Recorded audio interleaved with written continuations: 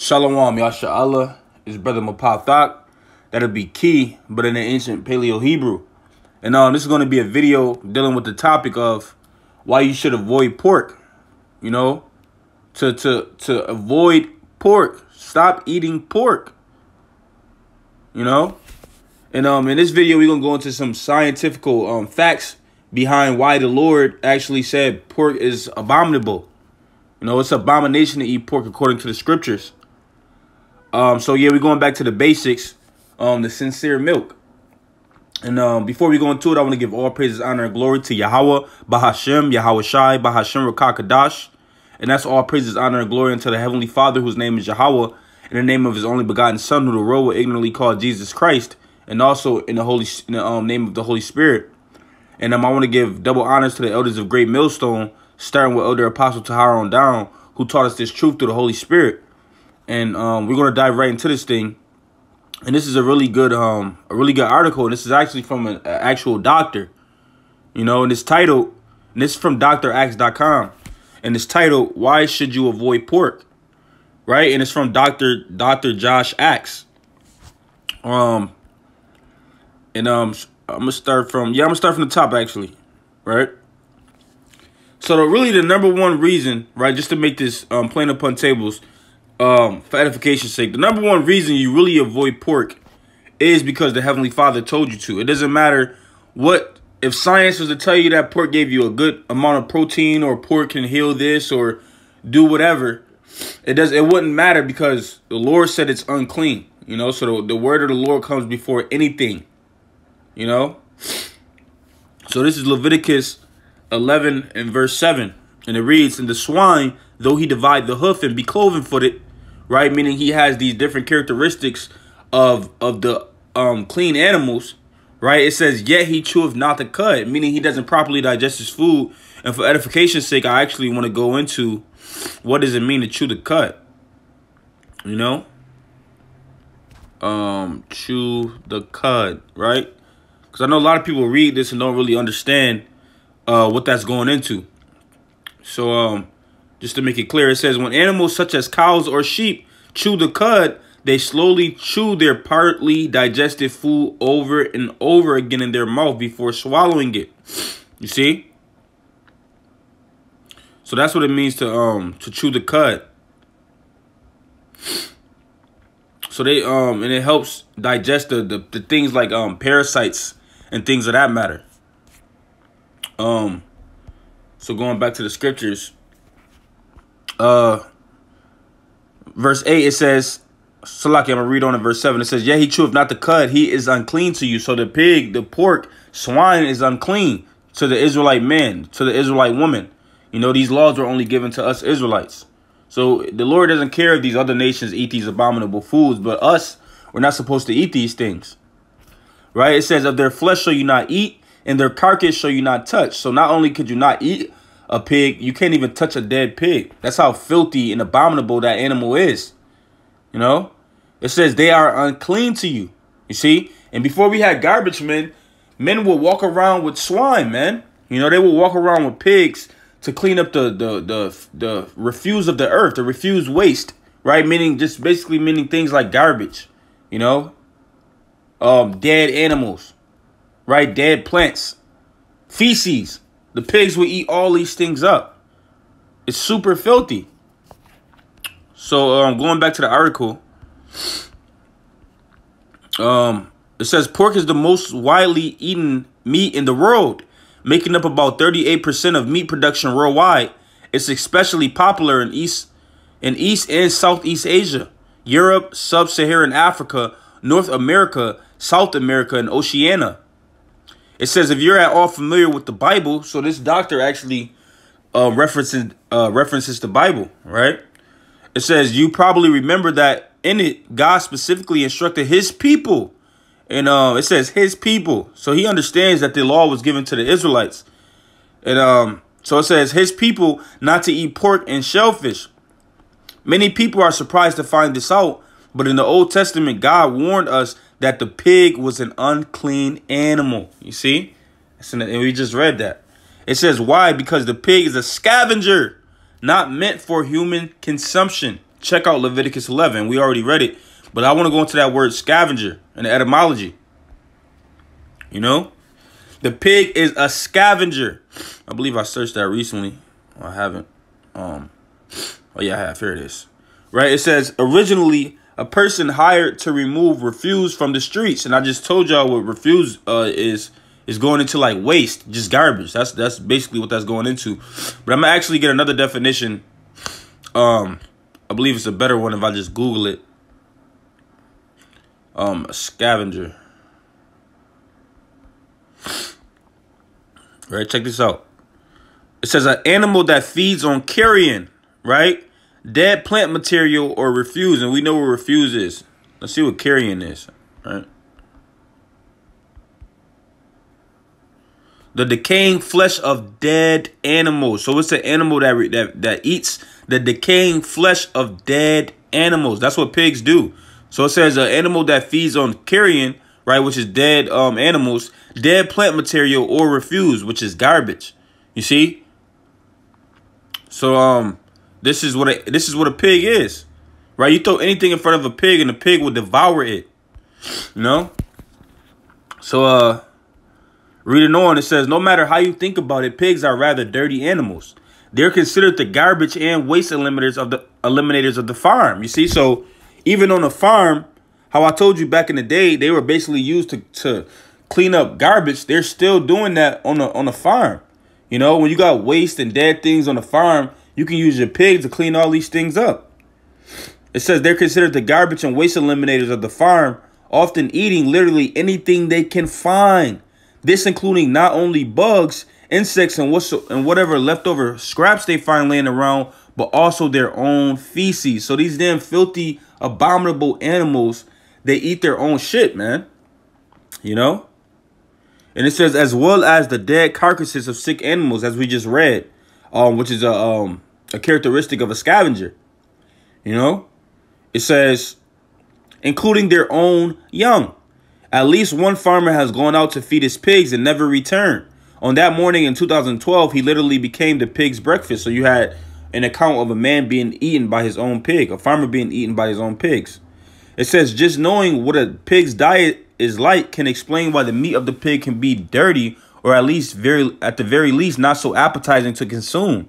And while being grossed out may or may not be valid reason to eat something, it's vital to understand a bit more about pork before reaching your own conclusion. Let's talk about this popular yet seriously questionable protein source, right? So I'm going to read a couple of these points. I'm not going to read the whole article. If you want to check it out, it's on draxe.com, right? So it says um, the problems with pork. And number one, it says the pig's problematic digestive system. It says um, there are reasons that the meat of the pig becomes more saturated with tox toxins than many of its counterpart farm animals. Salakia says the first reason has to do with the digestive system of a pig. A pig digests whatever it eats rather quickly and up to about four hours. On the other hand, a cow takes a good 24 hours to digest what it's eaten. You see, so a pig doesn't properly digest their foods. You know, and this is how this is why they're they're filled with parasites and toxins and things of that matter. And um, reading on, it says during the digestive process, animals, including humans, get rid of excess toxins as well as other components of the food eaten that could be dangerous to the health. Since the pig's digestive system operates rather basically, many of these toxins remain in its system to be stored in its more than adequate fatty tissues ready for our consumption. You see? So they're just storing up a bunch of toxins, you know? So eating a pig is, is very toxic, and that's why it, it brings forth many sicknesses and diseases. And we're actually going to read about that as we read on in this article. It says another issue with the pig is that it has very few functional sweat glands and can barely sweat at all. Sweat glands are a tool the body uses to get rid of toxins. This leaves more toxins in the pig's body, you see? So they don't even sweat.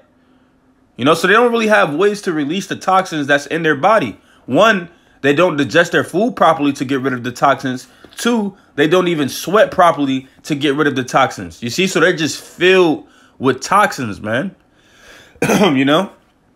And it says, um, this leaves more toxins in the pig's body. When you consume pork meat, you too get all these toxins that weren't eliminated from the pig None of us need more toxins in our systems, and that's that's that's a plain fact. It says, in fact, we should do all that we can to eliminate and cut down on toxin exposure. One vital way to do this is by choosing what you eat carefully, and for me, that definitely includes completely avoiding pork products of any kind. Right, and same for us Israelites. We need to be avoiding pork products of any kind. You know, and um, two, it says increased cancer risk from bacon and other processed pork. Right, so that it, it also increases your your chances to obtain um and contract um cancer. You know, so it says, according to the World Health Organ Organization, processed meat like ham, bacon, and sausage causes cancer, and our people loves ham, bacon, and sausages, man. But these foods, they cause cancer. It says the International Agency for Research on Cancer actually classifies processed meat as a, carcin a carcinogen, right? Which is something that causes cancer. That's literally what a carcinogen is. It's something that causes cancer. You see? So it says these processed meats are are are are called carcinogens, right? But it gets deeper. Check this out. It says researchers found that consuming 50 grams of processed meat each day raises your risk of collateral cancer by a very significant 18%, and that's that's a lot. It says processed meat is considered to be food items like ham, bacon, sausage, hot dogs, and some deli meats. It says, noticing a theme here, these are mainly pork-derived food products. You see? They are mainly pork-derived food products. So it's this pork that's that's causing um a lot of cancer is definitely in in in our people, you know? Right? Cuz our people love pork. Our people love that pork bacon. They love the pork sausages. They love the damn filthy pork chops. You know, it was a time um, before I even came in the truth, I stopped eating all pork except except bacon. I would probably put bacon on a burger or something like that. But I always found things like pork chops super disgusting, you know? And um these things bring forth sickness. They bring forth disease. And I actually um I actually haven't been as sick as I used to get in the world since I stopped eating pork. You know, so this this is this is truth. This is fact. Right? It says um, these are mainly pork derived food products. How much processed meat is 50 grams? That's about four strips of bacon. So four strips of bacon can increase your chance of getting cancer by 18%. You see? Four strips of pork bacon can increase your chances of getting um, cancer by uh, 18%. Just for eating four pieces of bacon. You know, specifically pork bacon. Right? It says Maybe you're thinking that you only eat two pieces of bacon regularly. According to this research, that will likely equate to a 9% increase of cancer likelihood. See, so even if you say, well, I only eat two pieces, hey, well, that's a nine, that's a 9% increase in you getting um cancer. You eat one strip of pork bacon, now you got a 4.5% um chance of you getting cancer. You know? So it says, unfortunately, pork and processed meat is often consumed by folks allowing the keto diet following Salakia, following the keto diet, paleo diet, as well as the Atkins diet. For example, instead they should be using healthier meat like beef, lamb, bison, or chicken, and these are all clean meats according to the scriptures. You know, so they're they're definitely um more healthy than um than than pork, right? Because pork is literally not healthy at all, right? Even though Esau might try to tell you, hey, it gives you pork, it gives you protein, and it does this, and it, it does this. Hey, it's a filthy, filthy, filthy um animal, man. You know, you shouldn't be um putting that into your body at all, unless you're unless you're looking for a quick death. That's that should be the only reason you're eating pork. If you're looking for a quick death, man. If you're looking to die faster, you know. So it says swine flu in humans. I'm not going to really read this whole one, but I'll read a little bit of it. It says the swine flu is another virus that has made the leap from pig to human, influenza or flu viruses can be directly transmitted from pigs to humans, from humans to pigs, and from humans to humans. Human infection when flu viruses from pigs are most likely when humans are physically close to infected pigs. Um, it says swine influenza virus infections in humans are now called variant virus infections in humans. I wonder why the authorities removed the word swine. Was it scaring people away from eating pork? Probably. right? And um, hey, I haven't I haven't gotten the flu since I stopped eating pork. So this this is a fact. I literally have have not gotten the flu since I've stopped eating pork. You know? Um, but I don't want to read this whole thing. Like I said, you can go to this article yourself. Um, but it's it's certain ones I want to touch on. I want to read this one, right? It says um trichinosis dangers. And it says, Did you know that pigs carry a variety of parasites in their bodies and meats? It says some of these parasites are difficult to kill even when cooking. This is the reason there are so many warnings out there about eating undercooked pork. One of the biggest concerns with eating pork meat is trichinosis or tri trichinosis. This is an infection that humans get from eating undercooked or uncooked pork that contains the larvae of the trichinella worm. In some countries and cultures, they actually consume pork raw, which is disgusting. Right? It says this worm parasite is very, very commonly found in pork. Right? When the worm most often living in cysts in the stomach, opens through the stomach acid, its larvae are released into the body of the pig. These new worms make their homes in the muscles of the pig.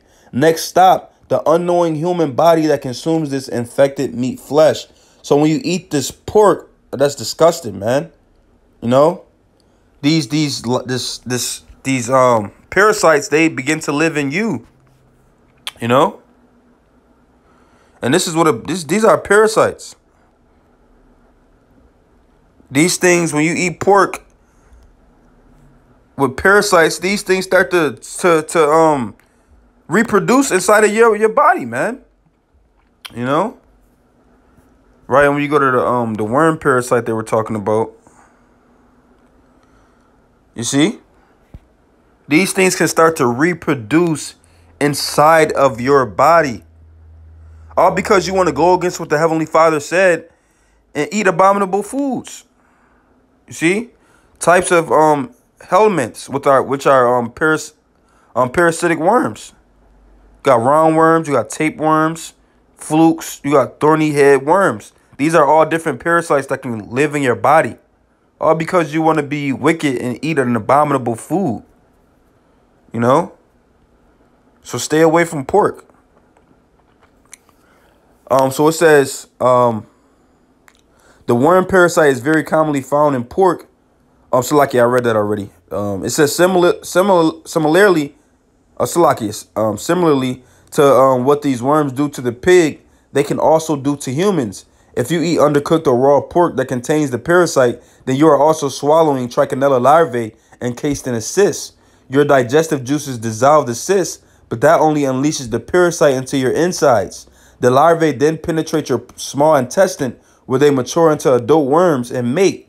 If you're at this stage of trichinosis, you may experience abominable uh, salakia, uh, abdominal, abdominal, abdominal, ad, adma, salakia, abdominal pain, right? Diarrhea, fatigue, nausea, and vomiting. Um, it says, unfortunately, it doesn't end there. Approximately a week after eating the infected pork, the adult female worms now inside your body produce larvae that enter your bloodstream and eventually burrow into muscle, into, like, into muscle or other tissue. Once this tissue invasion occurs, symptoms of trichinosis include headache, high fever, general weakness, muscle pain and tenderness, pink eye, sensitivity to light, swelling of the eyelids or face. You see? And um I'm gonna go down to the next one. I don't want to continue to read on that. That's the main point I wanted from that. Um, I'll read this one. On five, it says pigs harbor common viruses and parasites. It says pigs carry many viruses and parasites with them, um, whether by coming in direct contact with them through farms or by eating their meat. We put ourselves at a higher risk of getting one of these painful, often um, debilitating diseases. Not to mention put our bodies on toxic overload. Pigs are primary carriers of Taenia solium tapeworm, hepatitis E, um, um, porcine reproductive and respiratory syndrome, aka blue ear pig disease, Nipah virus, um, Meningococcal virus, viruses in the family Paramyxoviridae. Um, you know, so you get many diseases and sicknesses from eating pigs. It says each of these parasites and viruses can lead to serious health problems that can last for years to come. You see? And um I'm not going to read anything else on this um on this article, but once again if you want to read it, you can go to this website draxe.com, but you can see uh, it's many uh it's it's a lot of science that backs up why pig is an abominable and unclean food. You know? And I'm going to get one more scripture in the Apocrypha and close out. I want to go to Second Maccabees, the sixth chapter, in verse 18. It says, Eleazar, one of the principal scribes, an aged man and of a well-favored countenance, was constrained to open his mouth. So you had these these um, men trying to force Eleazar to open his mouth and to eat swine's flesh, and they try to force him to eat pork. Now check this out. Now, um, this is one of our forefathers, right? It says, but he choosing rather to die gloriously than to live staying with such an abomination, spit it forth and came of his own accord to the torment. So he chose rather to be put to death than to eat pork, you know? So this is how serious we took this um in the ancient days. Our forefathers would rather rather die than to consume pork, you know, because this food is very filthy and abominable, man. And um, Lord willing, this was edifying. Just wanted to take it back to the sincere milk. And um, I want to give all praises, honor, and glory to Yahweh, by Hashem, Yahweh Shai, by Hashem, Rakakadash, Shalom.